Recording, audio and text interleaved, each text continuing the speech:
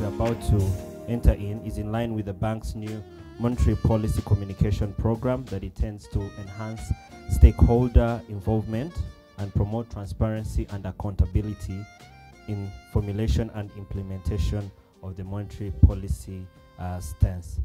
Now, you may may you allow me to invite the Honorable Governor of the National Bank of Rwanda for his uh, opening remarks. Thank you. Yeah, thank you, Bob. The chairman of Rwanda Private Sector Federation, chairman of ASAL, vice chairperson of uh, RBA, CEOs of different financial institutions, my colleagues from the central bank, and the other uh, institutions invited here. Good afternoon.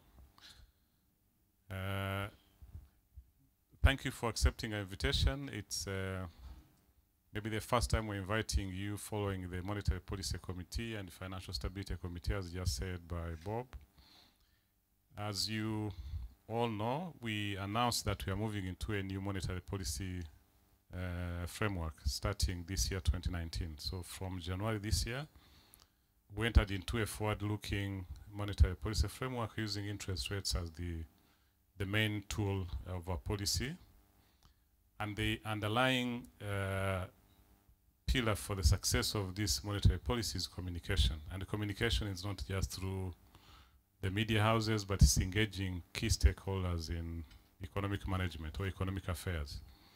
So that's why we invited you today. It is in, uh, in that context to engage with you as the key players in our economy. And we, we didn't invite you here to just tell you how we came up with the, the monetary policy stance we did or how we, what we see, how we assess the stability of the financial sector, but just to, to, to tell you that you are key players in this market and we expect to be hearing from you uh, because we, we do our own assessment of the economy, we do our own assessment of the financial sector, and based on what uh, the research we do and the assessment, uh, we come up with a monetary policy stance, a decision. We expect to be challenged by yourselves, or at least to get more information from yourselves uh, to, to make a better judgment when we sit as the monetary policy committee or even at the financial stability statement. So we intend to, to be engaging you uh, frequently. In fact, we are planning to be engaging you twice in a year. So we do our monetary policy committee and financial stability committee meetings every quarter. And in one of the quarters, it always happens around the time when we have the monetary policy uh, and financial stability statement. So those quarters where we have the statements where we engage you in a bigger forum, we don't have to call you here again.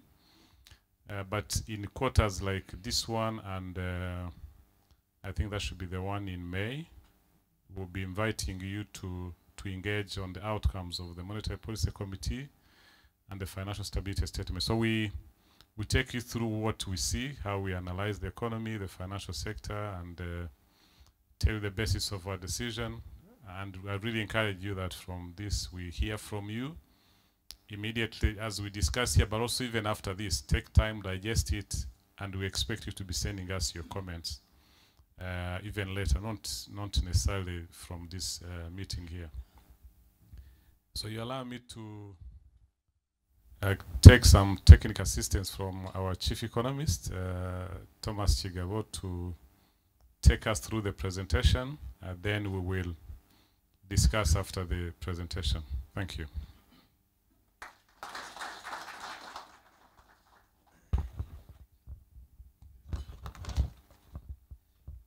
Thank you, Governor.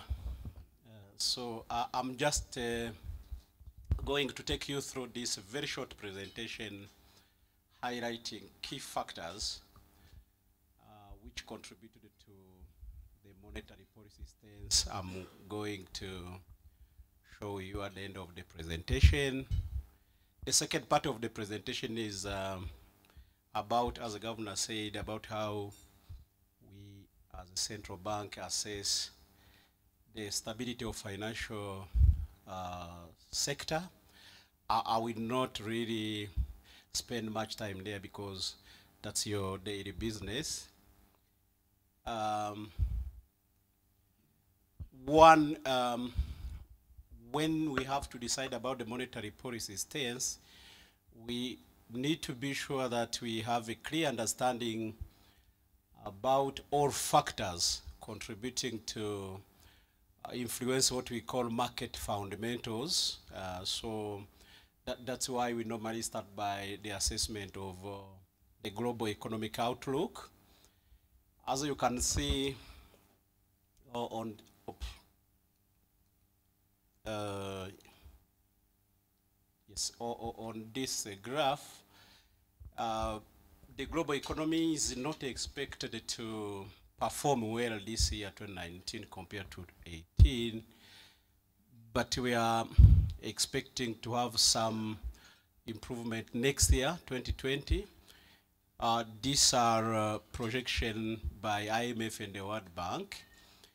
So why do we really care about the global economy? It's because mainly we export out country.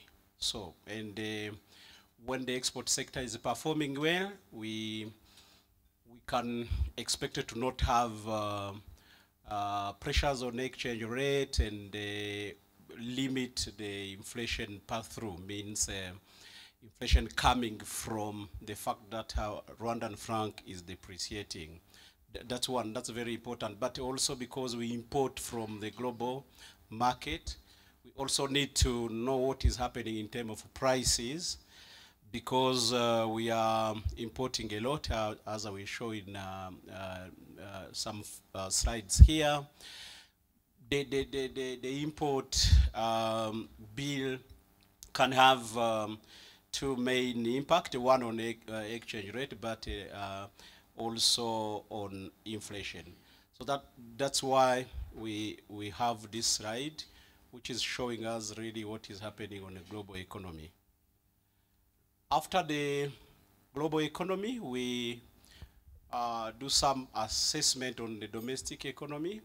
The graph here is showing that uh, the Rwandan economy is doing very well, uh, with an average of uh, 9.2% uh, from uh, Q4 2017 uh, to the last quarter of this year. And uh, for the uh, 2019 growth, uh, uh, the projection is uh, 8.5, probably it's not indicated there. Uh, construction activities um, are the main, among the main factors driving the growth in the economy, but we have industry and the services also contributing really to the, uh, to the economy. But because monetary policy is, about, is a short-term policy, we at central bank have developed some indicators which uh, uh, help us to know what is happening on the real sector, at least on a monthly basis, not, not just waiting to have the GDP published by the National Institute for Statistics. So uh, that's what we call composite index of economic activities. You, you can see how the correlation with the real GDP is very high. So we are, we are uh, projecting to have uh, to continue having good performance in quarter three of this year. So we are waiting to have the National Institute for Statistics publishing the final numbers, but the existing indicators are very clear about the good performance to continue in this year 2019. Um, the external sector is also another important sector we follow. As I said, because this has um, to do uh, uh, with the behavior of uh, our currency vis-a-vis US dollar. We have um, um, we have high import growth, 14.6 percent. That's the nine first months of this year. Uh, export performance 3.9, and uh, this 3.9 is uh, mainly from re-export and the other uh, and the other export because the, uh, the, the the traditional export means coffee, tea, minerals uh, performed not well because of, uh, as I said on the first uh, slide, the global economy is not doing well. Prices of uh, commodity are going down. So, but because the country has been diversifying its export base, we are now already benefiting from the two other categories of, uh, of, uh, of uh, export. So the, with 14.6% increase in import, uh, and the 3.9% in export, we, we've had some pressures on, um, on the depreciation on our currency. 4.2% uh, uh, that is uh, yesterday. And this is um, slightly higher than what we had last year, the same period. So, but what is interesting here, uh, though the import bill increased uh, by around 15%, but we've seen more capital goods and uh, intermediary goods coming in to continue supporting the uh, the economy. Uh, we are expecting that in next uh, years we may have uh, more export from the investment we are doing today. Uh, another sector which is very important for us as a monetary policy authority and uh, definitely where you have a big contribution is, um, is the credit market development. We've seen with uh, this good performance in the economy, but also accommodative monetary policy, which definitely contributed to have more uh, uh, accommodative financial conditions and uh, also the development we have in the money market, interbank market, supporting good management of liquidity. Uh, this development led to high increase in the credit private sector. As you can see here, the, between January and September this year, new authorized loan increased by 41.1%, and this is from 0.3%.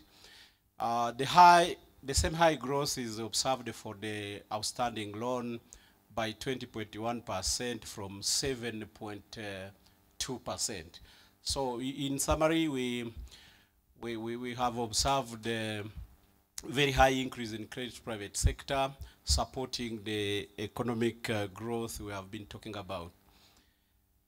And another good development in um, what we call monetary sector it's not only about the volume of, uh, of credit, but it's, it's more on the transmission mechanism of uh, monetary policy. It means how uh, monetary policy stance and uh, intervention of uh, the National Bank of Rwanda on the money market uh, have been really driving or impacting short-term interest rate uh, but also it's not uh, shown here, but also uh, interest rate on uh, treasury bond for 20 years, whatever the maturity you have seen the interest rate coming down. And uh, also uh, on your side, we, on average, that's just the average, you have seen some good trend in terms of lending, lending rate declining. So all market rates here, the, the, this is the central bank rate. You can see when we reduce our central bank rate, other interest rate normally follow. But we have a band, this band, central bank rate minus two, central bank rate plus one. So we, we our objective is to have all money market uh, rate converging toward our central bank rate, but remaining in that band. So which we have been able to manage. And uh, as I said, the lending rate and, uh, and the deposit rate um, have followed the same uh, the same trend with slight reduction in, uh, in uh, interest rate spread. Is it an improvement in uh, efficiency of banks? You you know better than me, but that's a good indication of what positive things happening in our sector. Um, we also focus on inflation because this is uh, uh, our main objective. We need to keep inflation low and, uh, and stable. We've had uh, very low inflation, sometimes negative inflation, which was not really good in terms of investment. But uh, uh, as uh, projected in, um, in March, we were very sure that the inflation will pick up uh, toward the end of, of the year, starting by June, July. And that, that's what exactly is happening. This is, um, op- this is, um,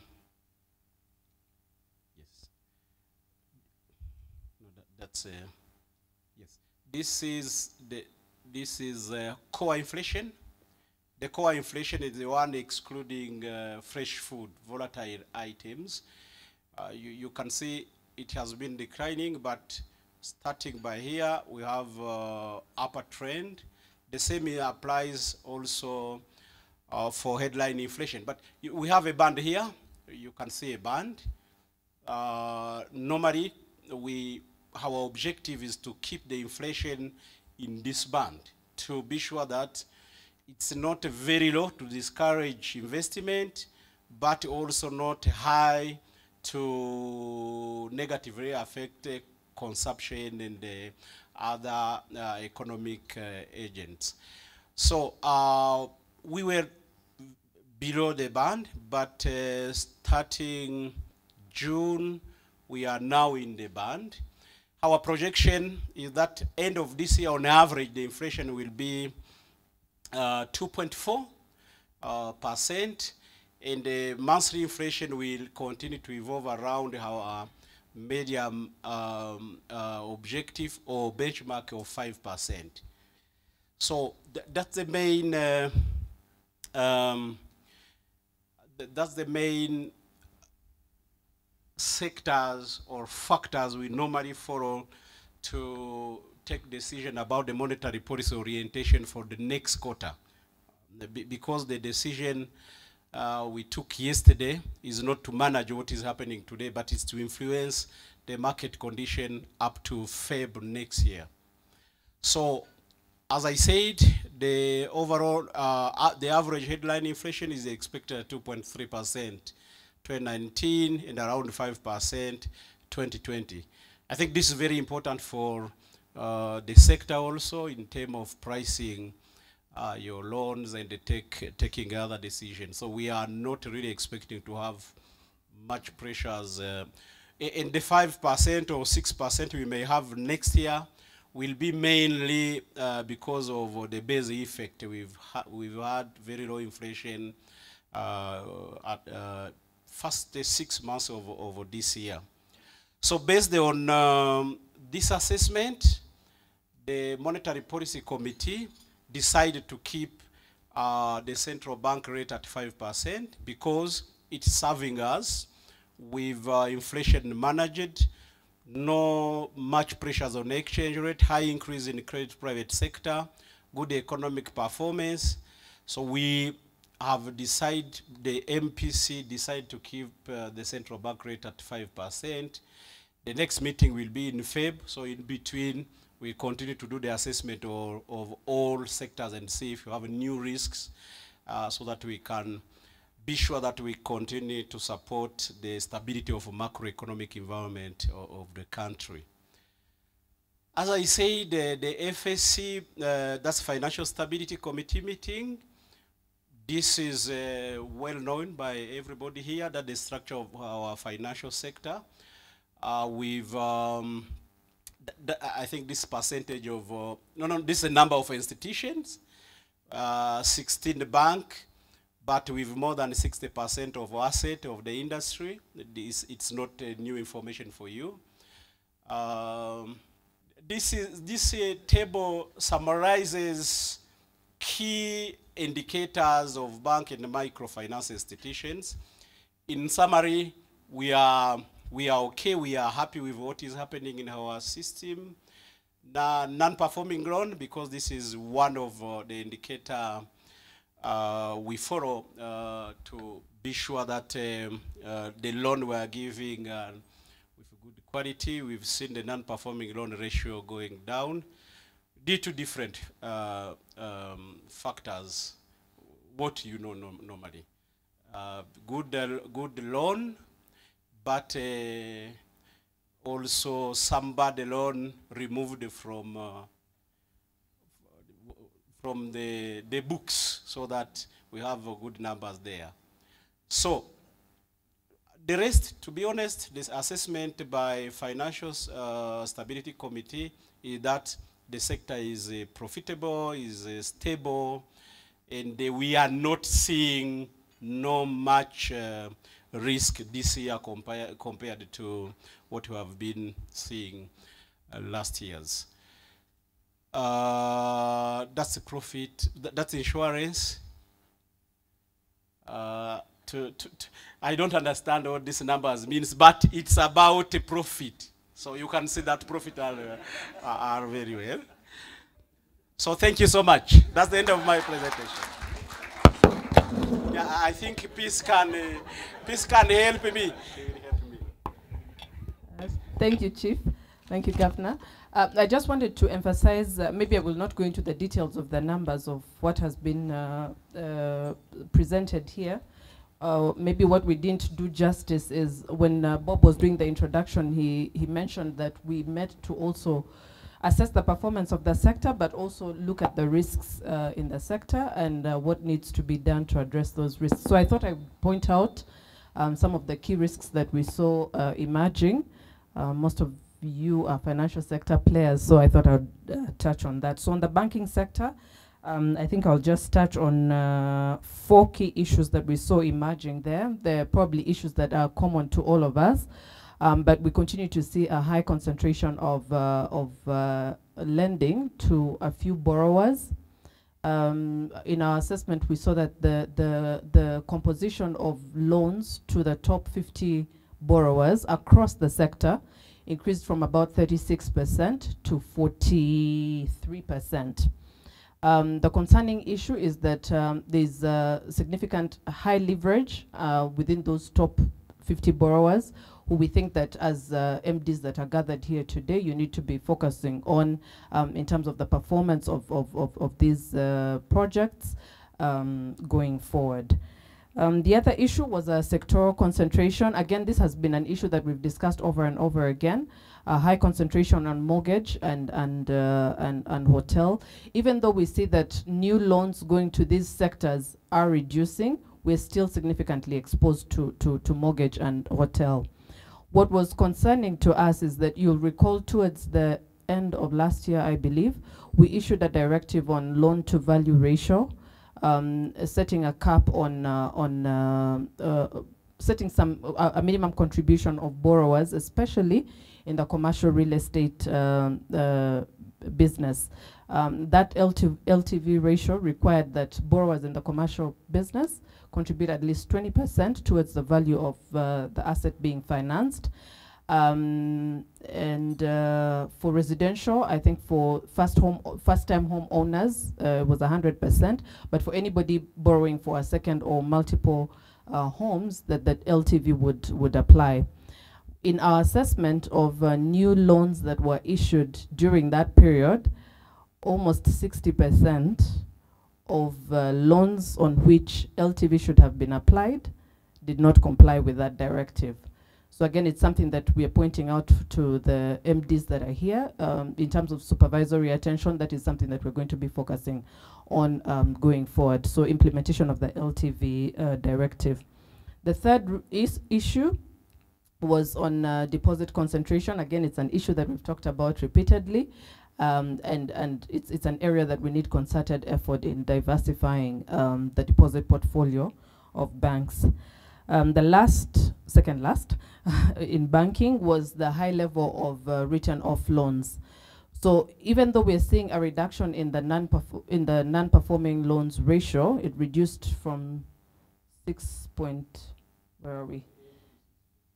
Uh, that's for MFIs, yes, and then for banks from seven point 7.2 to 5.3, the NPLs ratio. So we see that ratio reducing, but if you consider the volume of written off loans that, that, that banks are sitting with off balance sheet, that ratio, combined ratio of NPL plus written off loans has increased from about 16 point something percent to over 17 percent.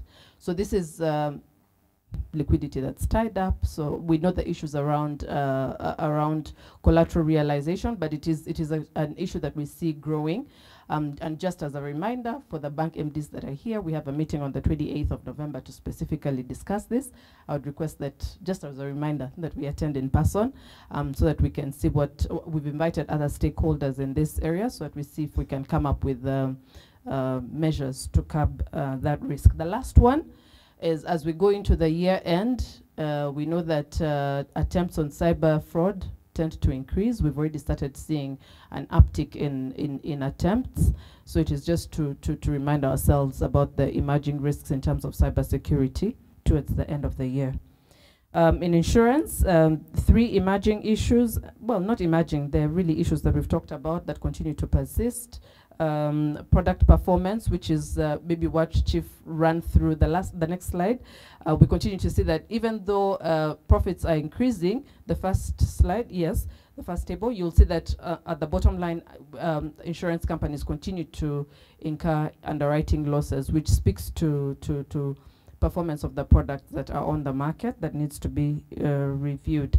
Um, there's also still continued a high dependence on uh, motor and medical insurance, which combined represent more than 70% of uh, revenues of general insurance. So that's also an area that needs to be watched. And lastly, on insurance, is we see a growing uh, level of receivables, insurance receivables. Uh, we've come up with directives forbidding selling of insurance on, on credit, um, but we still have uh, about 20 to 30% of total assets of the insurance sector being insurance receivables, both premium receivables and reinsurance receivables. Um, I think this, this speaks a lot to the inefficiency that we see in the sector.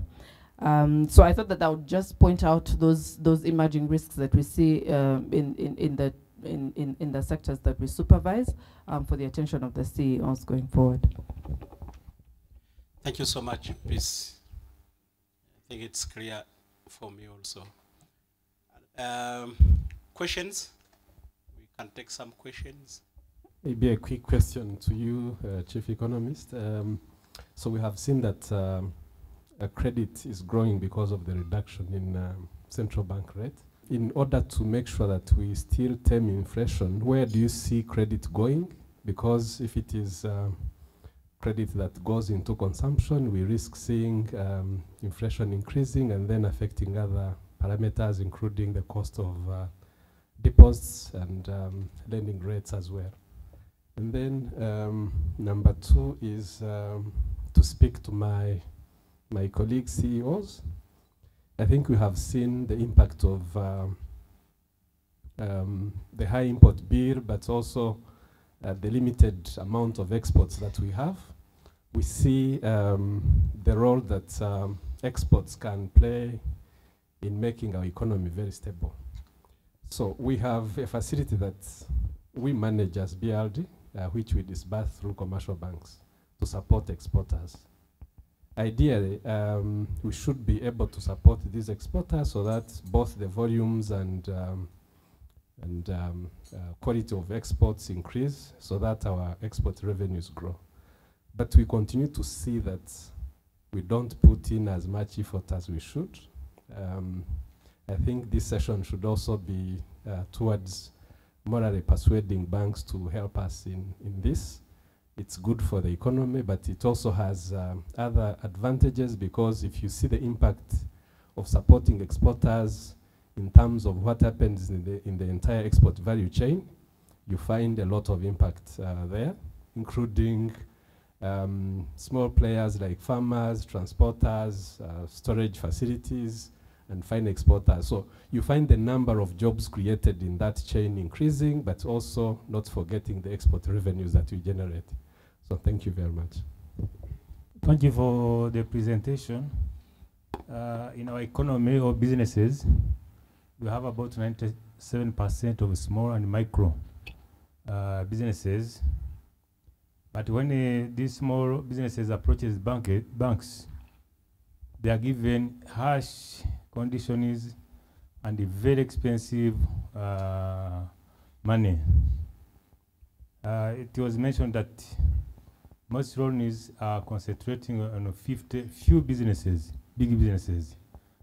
How can uh, the central bank or banks help to develop or grow the SMEs to the level of being bankable and able to get the loans? Or even how can they uh, be encouraged uh, to lower the cost to small businesses?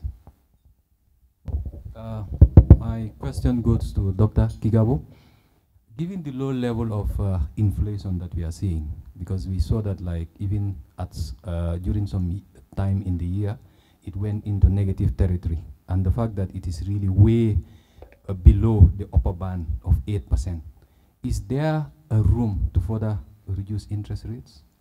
I mean, um, especially we since we know that now the risk is not of inflation. Thank you. Just clarification, uh, I saw in some of the numbers you showed us there, the NPLs seem to go down, but then the next layer, provisions seem to be going up. In my uh, simple understanding, the two do not add up. Maybe the bankers know it better. Okay, thank you so much. Um, for SMEs financing, I think the question is for uh, commercial banks. Yeah, they can tell us what is happening and uh, what can be done. But the question is very important for the development of the economy. I think the the first question about uh, credit private sector growing and uh, what is the distribution of the, the credit we have observed in terms of sectors of the economy. Uh, and uh, let me combine the two questions about um, inflation being low. Why can't we cut further the central bank rate? So uh, these are two very important questions, helping, uh, giving me the opportunity to, to explain how the monetary policy normally works. Uh, we can't say that the high growth uh, in the credit private sector is a hundred due to the cut in central bank rate. Cutting central bank rate means uh, we we try to be sure that the financial conditions are accommodative. Our central bank rate uh, and the central and the um, interest rate on the short-term instrument are very low so that banks will have more uh, interest to uh, finance the private sector than investing in uh, these short-term securities. That's the overall objective of monetary policy by creating that kind of liquidity environment. Now, when it's about the decision of commercial banks to give loan, we have a list of other num- uh, other factors, the demand for loan, the quality, sectors.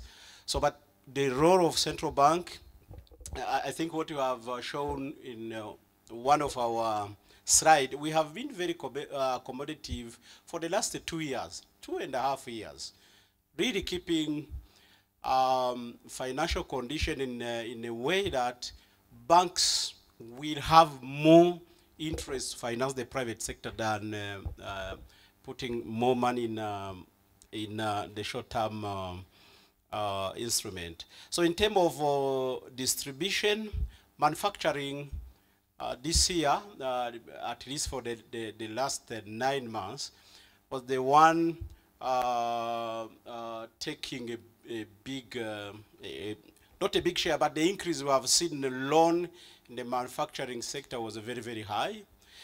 But also we have constructions.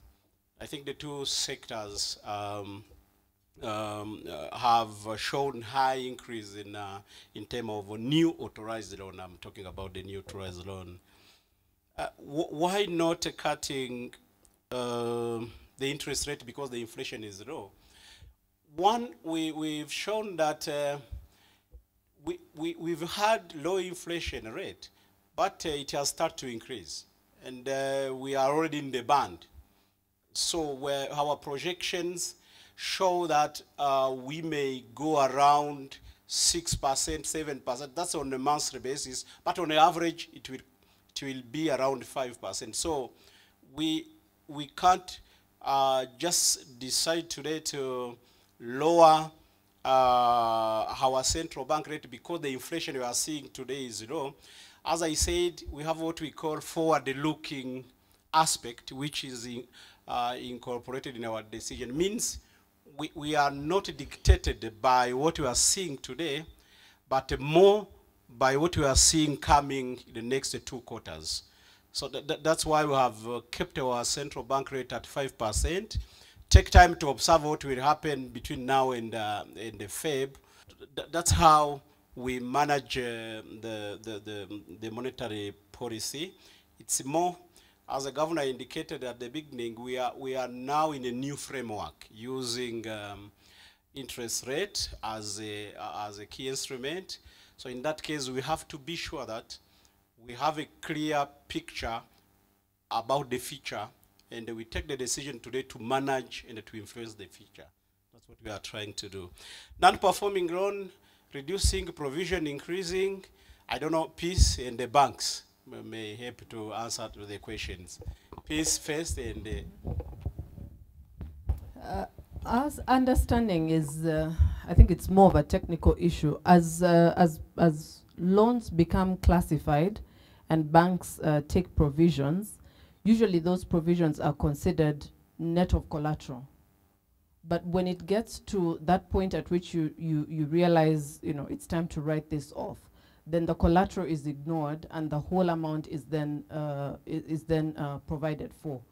Um, so it, it, in our understanding, that increase, the, the mismatch that you see between the NPL and, and, and, and, and increasing provisions is actually related to the growing written off lo- uh, loans. Um, on the, but maybe the banks can supplement. From, from where we sit, that's what we Uh, Thank you, Governor. Thank you, Professor Kigabo. We- We've seen that in- inflation is uh, on the up again, which is, I think, related to the performance of the economy we're seeing. Uh, But normally, in in a a period of high growth, normally there's also high inf- inflation, especially if growth is is driven by um, uh, activity in the construction sector, which is uh, a big um, um, uh, creator of jobs informal in the informal sector. So we're supposed to see more consumption and, and high inflation. How do you explain that we have high growth but still relatively low inflation? The question to you is, why are you not financing SMEs? After that, I will respond to your question also. But, but Prof, I, I'm just repeating the question raised here. so. but Prof, you, you, you've shown us that uh, credit to private sector has increased. So we are doing our job, definitely, you know, clearly, right? As banks, we are financing the private sector. And even when we are financing big corporates, somehow the value chain, because the corporates will have suppliers, will have uh, transporters, etc. All these people get financed somehow.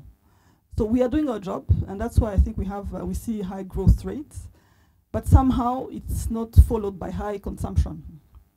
And and, and that's a question that you know we are trying to understand uh, uh, why. Okay, the answer is by financing uh, big corporates, SMEs are also indirectly financed. That's a good theory. I don't know. Deputy Governor.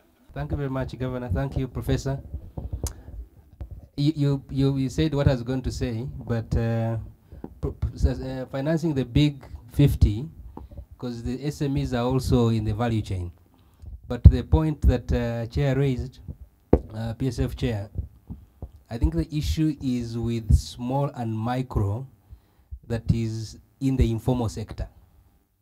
Because I want to believe that banks today, when we get applications with uh, some level of formality, we, we are able to see the risk and assess and you know, provide financing. I think the, the biggest issue is the informality around micro businesses. You are not able to assess the opportunity. There's no historical data. There is, uh, uh, at best, some will present uh, the business plan in form of a contract or an LPO. Uh, where we are able to get a thing or two to depend on, I think banks really do their job, as Jan said. Um, however, uh, it is improving. I don't think it's uh, where we were last year's, uh, just two years ago. Particularly those who are the SMEs, the micro SMEs who are in the trade sector, I want to believe those get trade financing. Uh, those that have um, um, a bit of uh, dependency on, on a few things, for instance, those who are in the government uh, supply chain. Um, but the ones who are in the investment sector, particularly agriculture, uh, present a big challenge for us, and, and uh, we, we would love to. We would love because the issue that uh, Peace mentioned on concentration of loans is also a worry to us. But uh, how can we work, for instance, with um, the local authorities uh, so that we at least get a bit of follow-up? Because it's also not an easy job to follow micro. The cost of the loans will then start going high up if we have to go to micro uh, lo loans as a sector. Um, the other issue that I would want to comment on, probably central bank can help us, is to understand the future of SACCOs. Um, the dependency on, on deposits is, uh, is, is, is, a challenge. Concentration on deposits, sorry, is also a challenge for most of the banks, um, including the one I work for. How do we support? We hear plans that uh, central bank is supporting developing of uh, another bank, cooperative bank, or, or a SACCO for a senior circle for the circles. Uh, will that exclude uh, their relationship with commercial banks wherever they be they are now? Because they are there are many in number. They they support many of us in in, in, in mobilizing savings. Um, probably that if we could get a direction where it is going, then we know where how to deploy ourselves. But I want to, to, to also comment that uh, we've taken banks have taken a, a good stance on, on making sure that the micro um, customers are also catered for. Uh, I would, for instance, say um, we've started seeing growth in uh, mobile loans. Those go to micro uh, consumers or, or, loans. Um, much as the risk is still there, but uh, we, we started seeing a bit of a, a rise and extension of those services to the micro loans, the micro customers. I don't know what if I have answered the PSF uh, chair's question. We would love to. We're happy to work with you wherever we can get uh, uh, dependency on, on a few things. We'll be happy to to to play our part uh, in extending loans.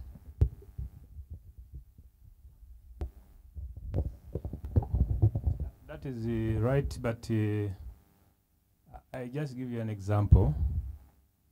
Uh, the corporates can get a loan maybe at uh, 14, between 14, 15 percent. You find uh, micro have money to approach the bank, uh, uh, maybe bankable, but it's getting around 21 percent. And the conditions and terms are also very expensive. How can such a person come out? You know, you not, you may not, you may say is a person who cannot pay risky, but you make him even more risky by giving him the loan at very expensive. So I'm just appealing to the banks to to help our small micro who are managing to come up, uh, to give them affordable conditions and the cost so they can be able to pay. Most of them fail to pay because of that.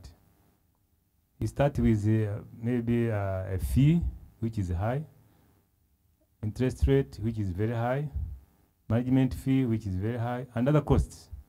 It, it is uh, it is happening to many uh, small and micro business people. Thank you.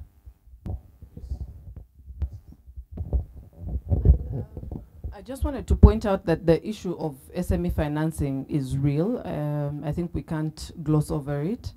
Um, but like Hannington was uh, was indicating, I think it's it's it's it's a bigger issue than just. Uh, I mean, like, like Chairman was saying that they're getting 21% while top-notch uh, corporates can get 14, 15%. The issue is what is the risk? What what are the banks seeing that they're actually charging 21%?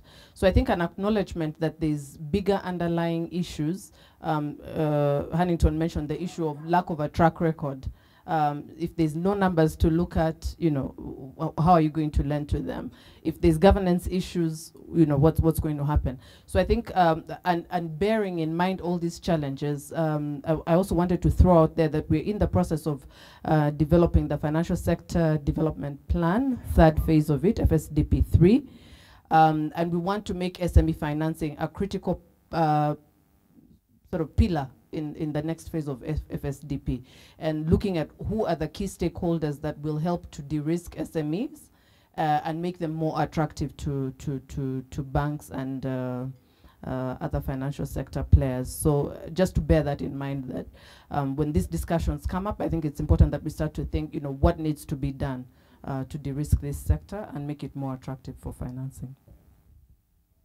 So I, I want to put things in layman language. Uh, th- this uh, transmission mechanism that uh, you talked about, uh, it is expected that uh, monetary policy stance is going to uh, influence or drive lending and deposit rates, and therefore also drive the growth in, our, in the real economy.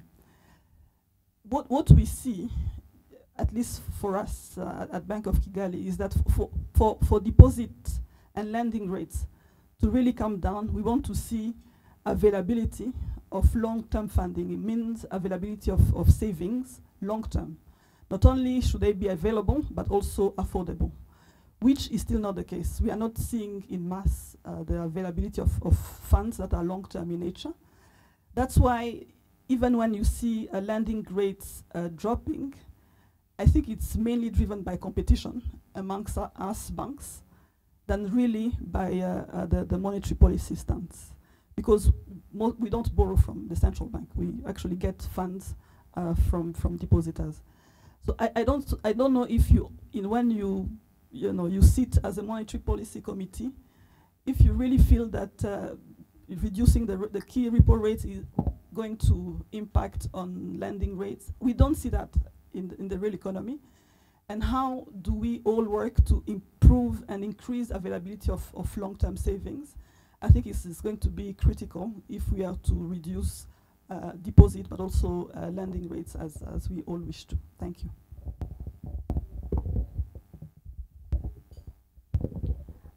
I- think mine, I just wanted to add on the debate around the SMEs. I'm not sure about the interest rate of 21%, I'll not comment on that. Uh, But I think there is a need for us to continue the capacity building for SMEs. I think what we tend to see is that an SME will come to you and say, I have this great collateral valued at this and this, and they think that should be the only basis against which you should consider their lending. Uh, They ignore the fact that, you know, the first way out for most banks obviously is, is your cash flow. Uh, second way out, we all know the challenges around that. So I think there's, there's still a very, very big need to, to really change the mindset and create a lot of capacity building for people to understand that, you know, our first way out is the cash flows. How should they be presenting that? They should be thinking about the viability of the business rather than simply assuming that, you know, I have this great collateral, then, you know, why should, I mean, I keep getting that all the time. You know, why are you not, uh, you know, looking at my collateral? So I think really that space is still a very, very big challenge in, in terms of the mindset. Uh, my question goes to uh, to Peace. Um, I liked the clarifications you you, you, you gave after the presentation, uh, where you listed um, issues affecting the banking uh, industry and uh, the insurance uh, industry. Um, my question is, uh, could you do the same for the microfinance uh, subsector? Thank you. The, the first question was the kind of uh, disconnection between high economic growth and uh, and the low inflation. Yeah, normally in textbook, when you have uh, high growth, you, you you you will have high inflation pressures on on prices, but it depends on uh, what has been driving the high growth. Um, as uh, we indicated here, construction played a big role in the, the growth of um, quarter one and quarter two of this year. Uh, I think construction increased by more than 33%. And this construction sector, which is a key driver of the high growth, is more import dependent.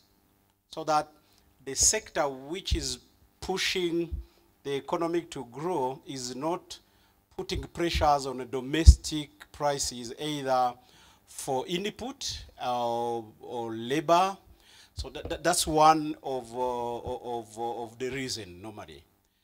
Uh, but as you rightly said, you have seen the inflation um, uh, starting to pick up uh, to now 4.4% last month. I think the, uh, uh, uh, the activities in other sectors have started really to, you know, to have some pressures, good pressures on uh, on uh, on, uh, on the prices because people are getting money and do other businesses. The, the second question is uh, is very interesting. The transmission mechanism. I think uh, one of the factors limiting our transmission mechanism is the structure of commercial banks. Uh, our commercial banks, the, the sector is not competitive. Uh, because competitive means what? Competitive means uh, nobody is able to decide to increase price, lending rate. I'm very sure a bank can decide to increase lending rate and the people will continue to come and they have a loan there. So I think when you have uh, competition, this facility of a player to decide about increase, uh, the probability is around zero. So, but let, let me explain how the transmission mechanism here works. One, by reducing our central bank rate, as we said, the, we have what we call uh, uh, interest rate pass-through. The first uh, block is to be sure that we are impacting the short-term interest rate. And um, uh, I will respond to your question. Suppose you are not borrowing from uh, central bank, which is not true now. We have started to inject our money, um, uh, but I will come uh, to, to that aspect. Suppose we are really not providing even zero franc to banks, but we are able to influence interest of some of your investment in treasury bills, uh, in repo operations. We are already influencing your behavior when you have to decide about how much to, to, to give as loan and at how, uh, how, much cost. And I think if you have been observing the trend in um, treasury bill rate, that's from 1 to 12 months, uh, even the uh, treasury bond for three months, uh, three years to 20 years, all these interest rates have been reducing. So as a result, suppose you are a bank in a competitive market, you are mobilizing deposit, you need, you, we are expecting if you are rational in the, in a competitive market, the, the, the lending rate may react to the change because you are, you are, you are correcting deposit to invest in uh, the instrument where you are seeing the interest rate uh, changing. But also you are supposed to reduce your, your lending rate because um, um, other opportunities have been uh, um, the, the interest rate on other instruments have been reducing. So that, that's how the transmission mechanism uh, normally work. But because of uh, the, the nature of the banking system, which is not uh, competitive, but competitive, it's not a pro, it's not a, let me say a, a, fault of banks, but look, the credit private sector as a percentage of GDP today in Rwanda is around 30 percent. So means we have other economic issues which by improving progressively will uh, lead to high rate of credit private sector. Means the economy offering more business opportunities for banks. And this will really improve the transmission mechanism but we are, what we are seeing today is already encouraging Lisa, I think you have uh, you are ready So to address, uh, maybe I'll address the two questions that were asked about uh, SACCOs, both by Hannington and uh, starting with the, the risks that we see in the microfinance sector. Um, a, a lot of the risks that are in the microfinance sector are very similar to what we see in the banking sector. So the issue of NPLs and high level of written off loans is, is, is similar to what we see um, uh, in the banking sector. Um, maybe what is specific to to uh, this sector is within the the Umurenge Sacco subsectors. Um, again, it's issues that we've discussed over and over again. The issues around governance and uh, management practices and skills and capacity uh, within uh, the the, the subsector, um, but also uh, even though we've seen a reduction in the trend of embe- embezzlement, funds embe- embezzled in, uh, in, in, in Umurenge Saccos, they still have a, a, a huge, they're sitting on a, on, on, on uh, a huge uh, sort of suspense account of these, these amounts that have been stolen and are out there. Um, you'll recall through the Mushyikirano, yeah, In December last year, there was a, spec- a sp- a specific task force that was put in place um, of key stakeholders, the central bank, local government, RIB, police, uh, defense forces, you know, all these people that, you know, came together to, to, to address this issue because it was becoming almost like a habit, you know, um, get into a management position in a circle, get comfortable with the, with, with the, with the people and processes and places, and then you know clean uh, the accounts maybe 10 20 million francs and just disappear. And the next thing you hear people have been released they're walking around and you know it was beginning to catch on as a as, as a as a practice. So that initiative uh, has been very very uh, has sent a, a, a, a resounding message um, that this is something that will not be tolerated and we expect to see that declining going forward but that has been a significant risk in the Umurenge Circles um, space. Um, the issue when we, we look at the limited liability companies, I think the, the biggest issue we see there is operational efficiency um, and how that can be turned around to make the companies uh, uh, operate more, more profitably. Um, to uh, Hannington's question about uh, the plans for Umurenge Circles, um, I think the most immediate uh, thing that is, is going on right now is the automation of, uh, of the circles um, because you know we all know that that- that they're running on manual systems and that makes them you know more susceptible to, to fraud and things like that. Um, so right now what is happening is to automate the the the the the, the system the, the system um, and we're at a place of uh, testing a pilot with at least three of the circles and um, the issue of consolidating the circles uh, still is on the table, and the idea is to eventually have uh, have them work in a. I don't want to say a closed loop because then that sounds like they're closed off the rest of the system, um, but to, to, to, to, to, to put a framework in place, and it's not just for liquidity management, which uh, I guess is a, uh, is a potential risk that the banks have to be uh, prepared for, but also to put in, uh, in, in place a system that helps them with regard to internal controls, with regard to um, you know, policies and procedures and things like that uh, to, to, to, to, to, to make them more efficient. So in terms of uh, liquidity, I guess it, it, it is a potential risk. Um, I cannot put a date though to when that consolidation will be happening, but it it is something that's in the works.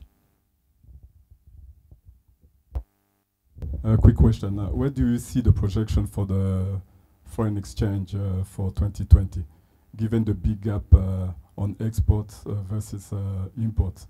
It will definitely have an impact on the supply of foreign currency, especially on the on the dollars. Maximum 5% depreciation 2020. That's our projection. I think I've done my work, so Governor.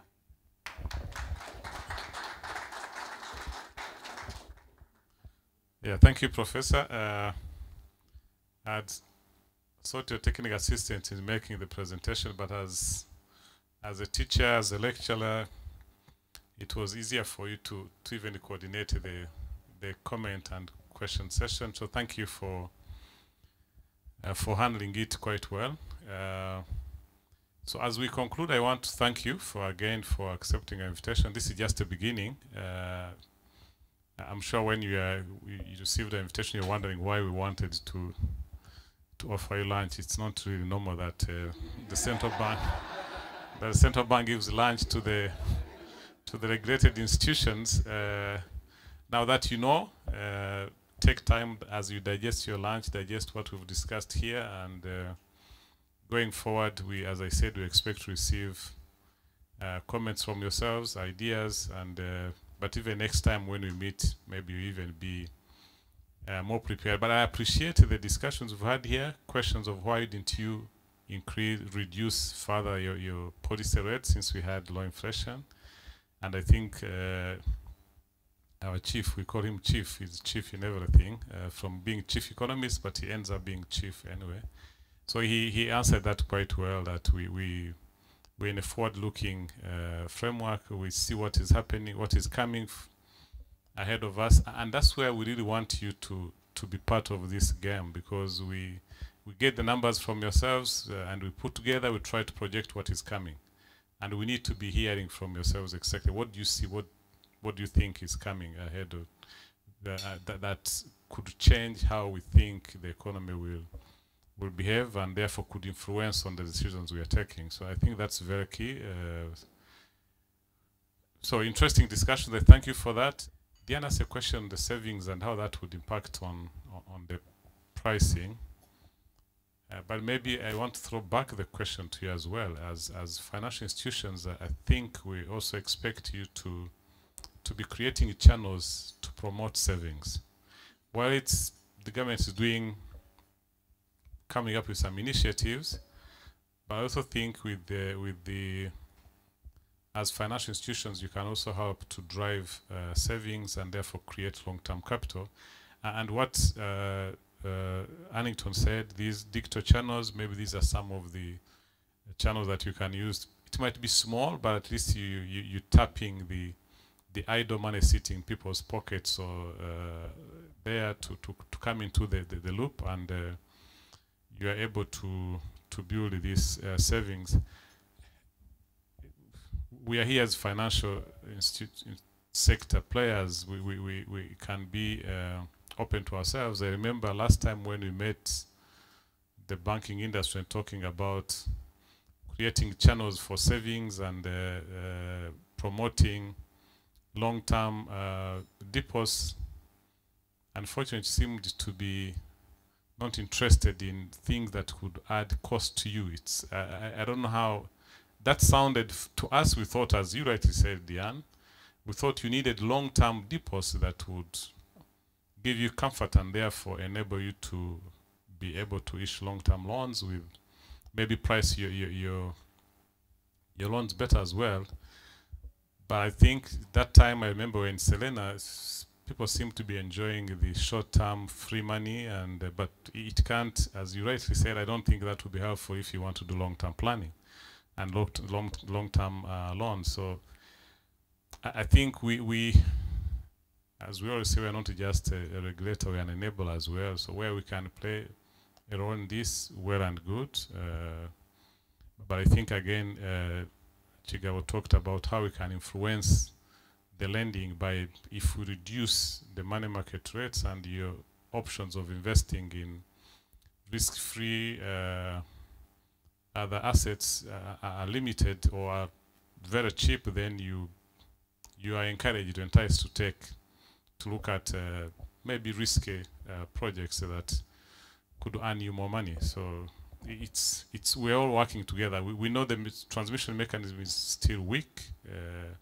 but when you look at what has happened in the in the last two years with the money market rates, the trend we see on the lending rates, while there are other factors there, but we think we want to link it again to what has been happening in the economy that is linked to also what the, the monetary policy stance has been doing.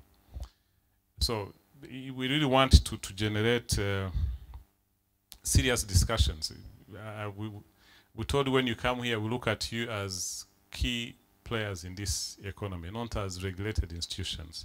And don't talk to us as your regulator, talk to us as your colleagues, your managers of the economy. So please that's the spirit we want to be conducting these these sessions. We we we want to to be openly hearing from you. Challenge us. As I said, we might be misunderstanding what is happening. So challenge us and let's have a common understanding of where this economy is going. Uh, we thank you again and wish you well. Thank you.